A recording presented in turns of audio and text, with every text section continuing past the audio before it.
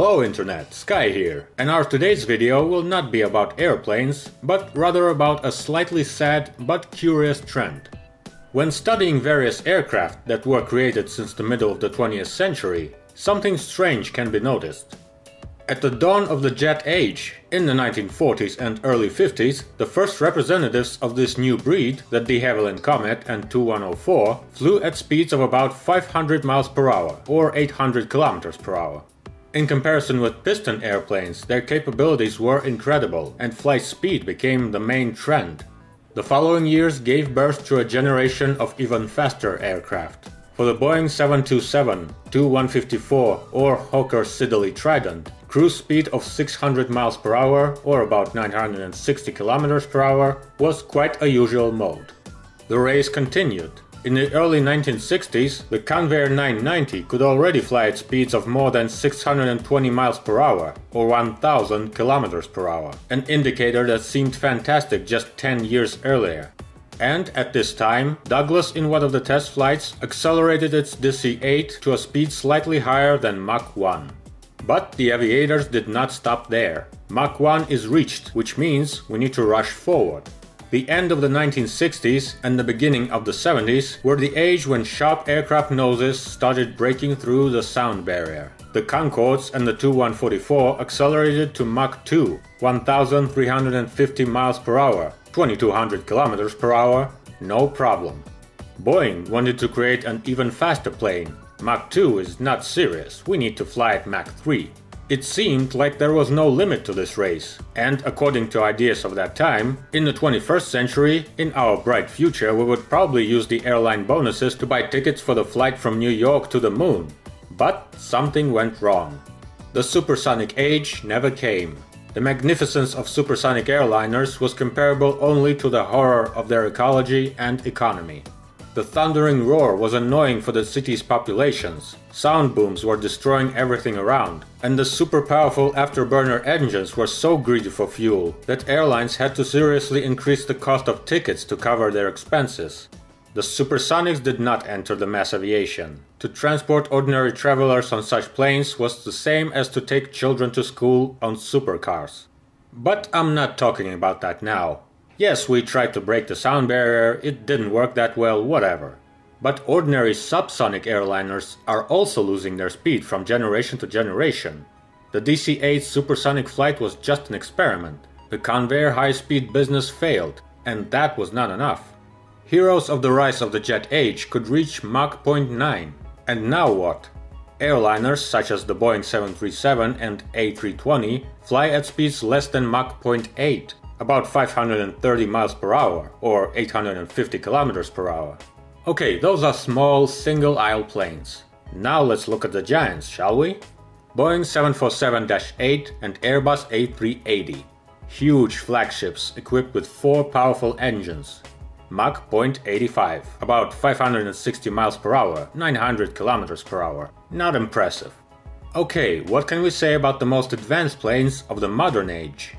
Boeing 787 Dreamliner is an American technological dream with a speed of Mach 0.85. Seriously?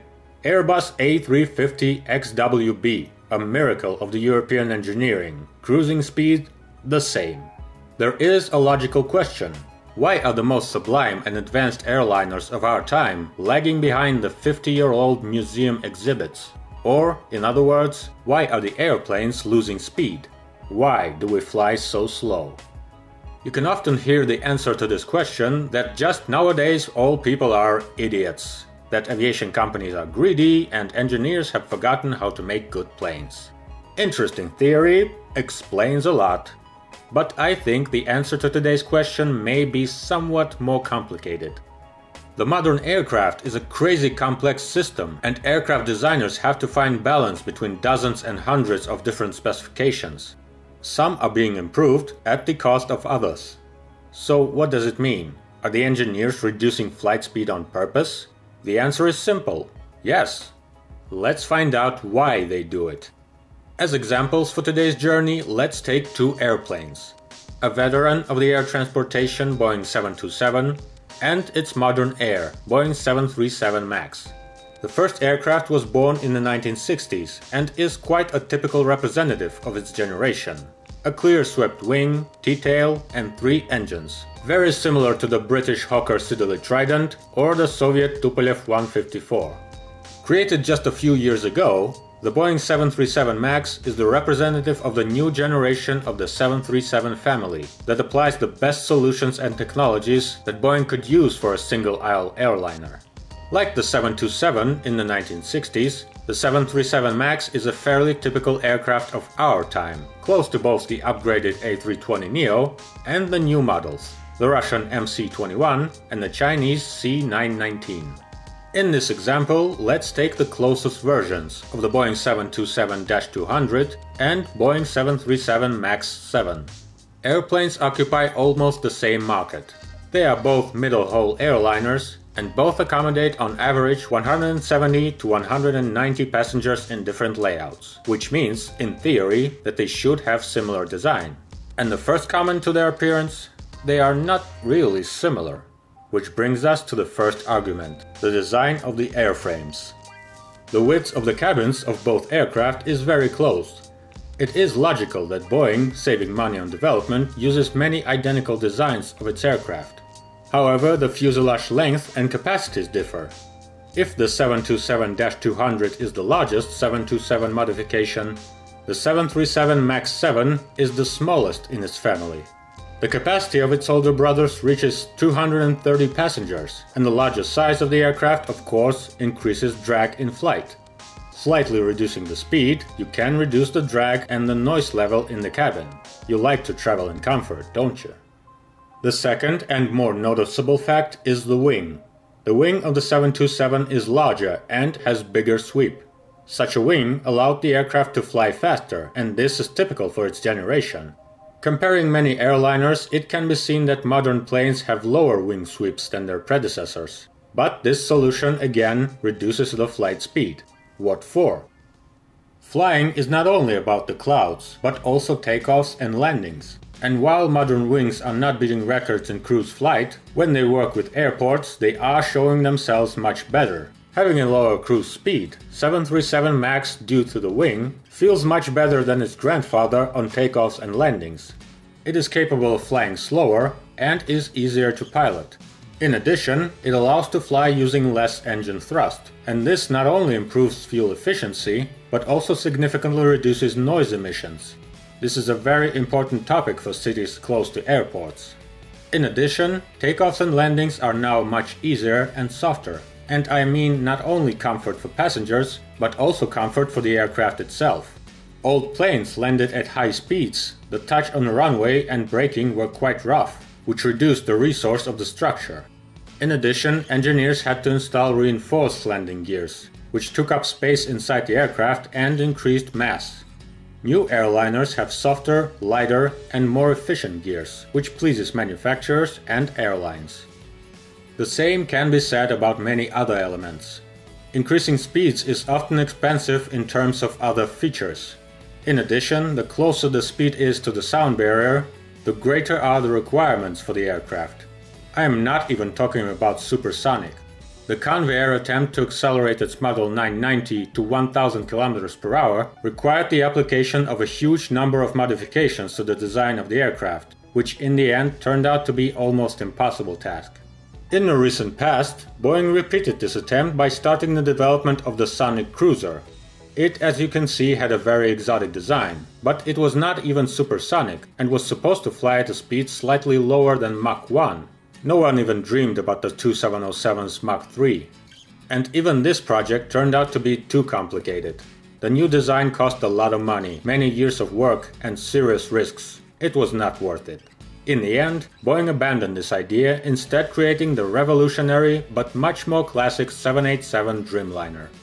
And we are finally getting close to probably the main reason for abandoning the race for speed and the main element of the aircraft the engine. The heart of most modern aircraft is a jet engine. You know it. These noisy things can be seen at any airport, and they are pulling airliners into the sky. The task of any jet engine, or most generally the reaction engine, is to convert the potential energy of the fuel into the kinetic energy of the jet flow. Further, ordinary Newtonian physics does its work. In practice, we can see that the fuel ignites, expands, accelerates, and pushes the machine up. That's right, the rocket engines are using the same physical principles. In aviation, turbojet engines are different in the way that they use not only their own fuel, but also the surrounding air, which is also being accelerated, heated up, and ejected at a high speed through a nozzle, creating thrust. In space, those engines wouldn't work, but on Earth they are pretty effective, and fuel consumption is much lower than that of the rockets. All early aircraft had such engines, and the legendary Rolls-Royce Snecma Olympus used on the Concorde was a classic jet engine. But these engines were very greedy. With its small capacity, Concorde had an insane fuel consumption. The much larger Boeing 747 turned out to be much more economical. And I mean the old jumbo, not its modern versions. With the technological development, the engines received a new design. It turned out that if you add another external circuit to a conventional turbojet engine, the bypass stream running through the circuit increases efficiency, the engines become more powerful and their fuel consumption decreases. These engines were named turbofans and became a real classic solution in modern aviation. They were chosen as the fiery heart of the Boeing 727 and most aircraft starting from that time and to this day. Turbofan engines were very good, and with the development of technology and materials, they also learned to fly fast. Most modern fighters, like the classic F-15, Typhoon or Sukhoi Su-30, and the newest F-22 and Su-57, feel great with these engines. But for the modern commercial aviation, it is not enough. Soon, the engineers noticed that the efficiency of the engines increased not only due to the appearance of the external circuit, but also due to the increase of its dimensions. More airflow, more effective engine. It was a new solution. The core was kept the same size and the bypass was increased. High bypass turbofan engines were great and provided an opportunity for a new leap in aviation development. Efficiency?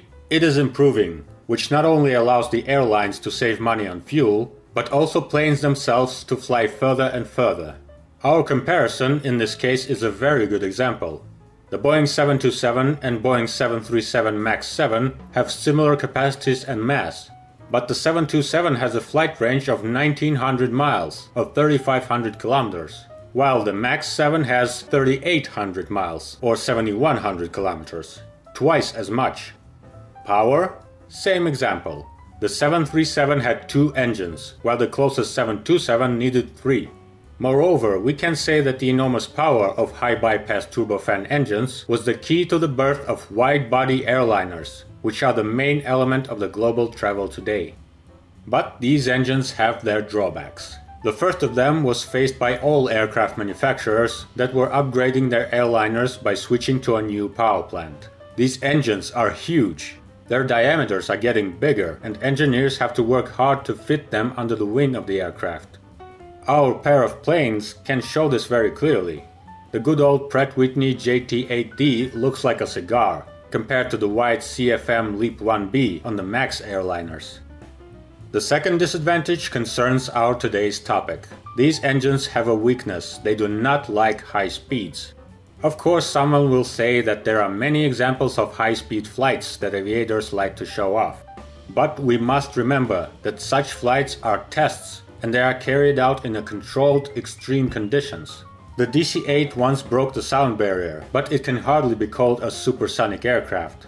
In normal operation, such speeds are not normal. They can lead to problems and even to a disaster. The fact is that the faster the plane flies, the more active mode the engine must use. And the point here is not even in the thrust, but in the speed of the airflow through the engine. If it is too high, the huge fan will turn into a wall that slows the plane down. The design and aerodynamics of the engines have improved, and the fans themselves have turned into a work of art, but this does not solve the problem. And if you accelerate the engine to its limits, this will lead not only to unnecessarily high fuel consumption, but also to overloads and reduced engine resource. And the repair of such machines is a very expensive business.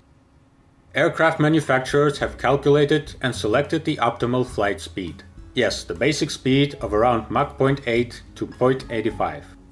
There is a lot more pros here than cons. If you go back to the couple of 727 and 737, then yes, the MAX flies slower. But the rest of its performance is much better, not only due to the modern technology, but also because of such compromises. However, a little sadness still remains, doesn't it? Really, with all the innovations of the modern aviation industry, why can't we fly, well, at least a little bit faster? The answer to this question will be the counter question What for? Mid range airplanes fly at a distance of a couple of thousand miles. What can be gained by a small increase in speed at this distance? Most likely half an hour of time saved in flight, just in flight. But the journey is also the way to the airport, check in, baggage check, passport control, waiting at the terminal, and then again, passport control, baggage claim, and the way from the airport to the destination. All these stages will not be accelerated, no matter what plane you fly, and all the advantages of speed can easily be compensated by a traffic jam on the way to the airport. How about long range routes? Here, at first glance, high speeds would be really useful. But again, we meet the economy and realities described above. For airlines, the parameters of fuel consumption and, for example, the life cycle of the aircraft are more important than the speed of flights themselves. In addition, fuel consumption is not only money, the fuel tanks of the aircraft remain the same, and an increase in fuel consumption may result in reduction of range. It's cheaper for the airline to make you more comfortable, show you a couple of movies, and feed you in flight than to speed up the airplane. From the passenger's point of view, such a deal is also more optimal. Yes, the flight may be long, but the level of comfort on such flights is not bad, and higher costs for speed will increase the cost of air tickets, which hardly pleases travelers. Would we like to fly at high speeds, or even supersonic? Of course we would like to, but I'm afraid for most people this desire will disappear at the sight of something like this and time is a more valuable resource than money only for a rather small number of people. Therefore, the leaders in speed now are business jets, and supersonic aircraft that may appear in the next decade are also likely to be business jets. Aviation in our time is already a giant and complex industry which prefers evolution to revolution. New, more high speed aircraft will appear, but just like in the natural evolution, this process will take, let's say, a certain number of decades. The mass traveler, choosing between speed and price, most often will choose the price. And with the current level of aviation technology and transportation, we have to admit that we live in a time when we can buy an electronic ticket in a mobile app and in 24 hours arrive practically to any point on Earth. Jules Verne would be very pleased. So, the world is open to us and the speed is not a big problem. Quite fast enough flights and soft landings to you.